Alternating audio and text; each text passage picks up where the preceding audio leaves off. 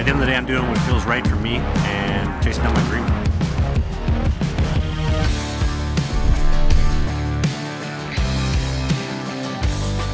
So three years ago, I signed a contract to play with Columbus in the FPHL, the Federal Prospects League, the Columbus River Dragons, which were at the time brand new expansion team. In 2019 in Columbus, I was not confident. I was also coming off a season of college hockey where I only had one start, and it was because the coach had no other option than to start me because nobody else was in town after the Christmas break, and I got pulled while we were winning. That is going to be the biggest blow to my confidence I've ever had in my life. I don't want to sound like bitching, but it, it took me a long time to get confident again. And now, coming off a season in Sweden where I think was really successful, the goals against in the save percentage, maybe not the greatest, but I faced on average 38 shots tonight. I had 70% of my team's overall wins, and I won 75% of my start. Wins are what matters. We play hockey to win. I'm getting paid this season 125 a week, 500 a month to win games for the team. And a great opening night, October 13th in Motor City.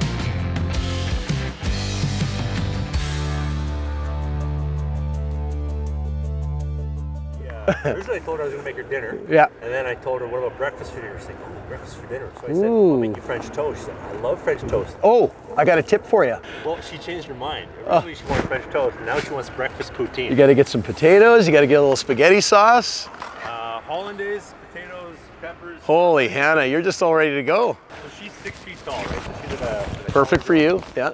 That is like a genetic lottery, like win. Yes, it is. Like.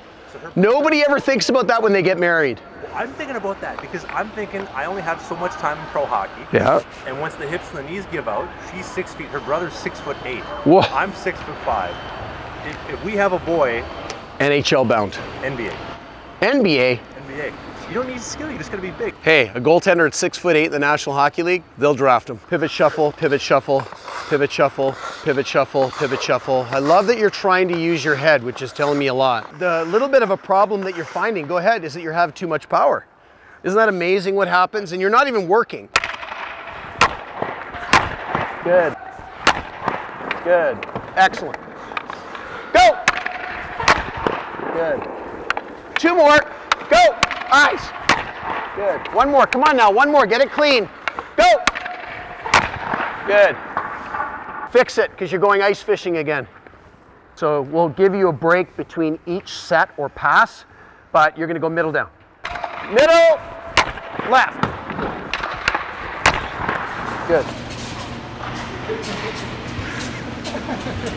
Hang on. I'm trying. First class here at the Richmond Olympic Oval.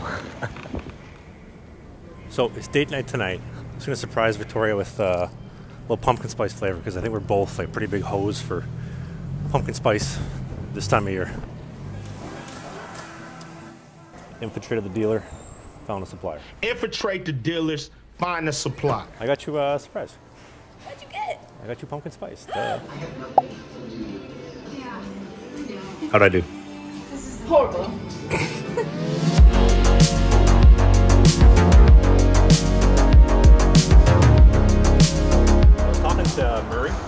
Yeah. Like him and I were texting. Matt, Yeah, Matt Murray. He wants to sit down and do an in-person podcast. Him and I at uh, Christmas time. that's awesome. Backwards flow. There you go. Your toes tell a lot. And good. And back. Good. And good. And back. Breathe. Good. And back. Good. And turn.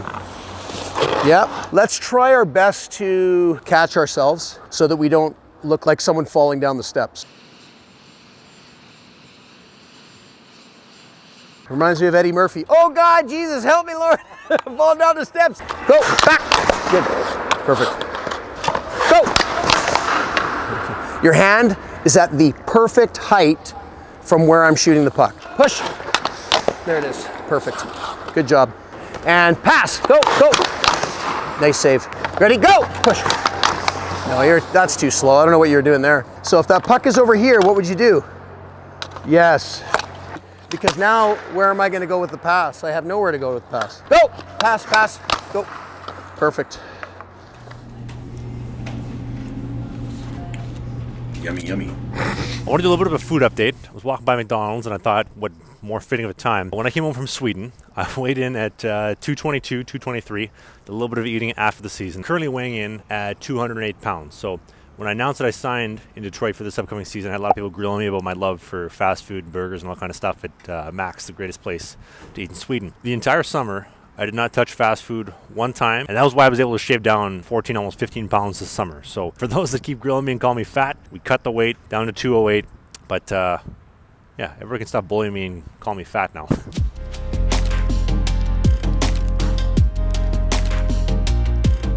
you're charging $300, $400, 500 dollars an hour, how many times can a single mom or a single dad bring that athlete in? You're not going to get rich off of single moms and single dads and people that are struggling financially. My mom said if we had had you 10 years later, I don't know if we could have actually afforded it. Charging 500 dollars, just creating a job for yourself. So if you want to check out the podcast, Slangin the Bizkit, episode 9, I think, Apple, Spotify, and the video version obviously here on YouTube on the Slangin the Bizkit YouTube channel. Ian texted me last night, like, hey, I need your specs for your stick. Put this stick over. It's going to take them three years to shave that shit down.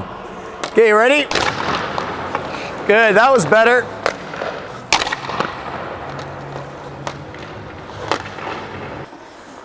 Good. I mean, you're an amazing puck handler. You're not a very good listener today, but you're a very good puck handler. It's not hard, it's not fast. Take your stick and put it here. Stop. Don't move. In that position, you can backhand it like you have. You can put the stick here and throw it off the glass. You could take it here and you can rip it around the boards. You with me? Yeah. There's three options there, pretty easy, and they get you out of trouble no matter what happens. Play it. Perfect. Good. Now, this moment in time, there's seven days I have left in Vancouver before I head off to Detroit for the season. And I gotta say that when it comes to traveling and the start of the season, it's pretty stressful, which is why I always travel with NordVPN. I use NordVPN to keep my information protected, to keep myself safe from cyber threats on public networks anytime I travel. But more importantly, anytime I stream hockey from my favorite streaming sites or my favorite UFC fights. The streaming websites are awesome, but they track me, they take my information, in some cases, launch cyber attacks on me. But when I turn my NordVPN on, it hides all my information, keeps me away from cyber threats, and safe with their virtual private network and you can travel and stream worry-free, just like me, when you go to the first link in the video description at nordvpn.com slash to get the best and most up-to-date pricing possible. I want to thank NordVPN so much for sponsoring this video, and also I want to thank you. Thank you for watching this vlog. Thank you for supporting my new podcast, because all the support that you give me is what makes my dreams possible and has generated me this opportunity in Detroit this upcoming season. But that's the thing, it's only an opportunity, and the rest of that is up to me. But I can tell you right now, I cannot wait to share what I do with this opportunity with you very, very soon.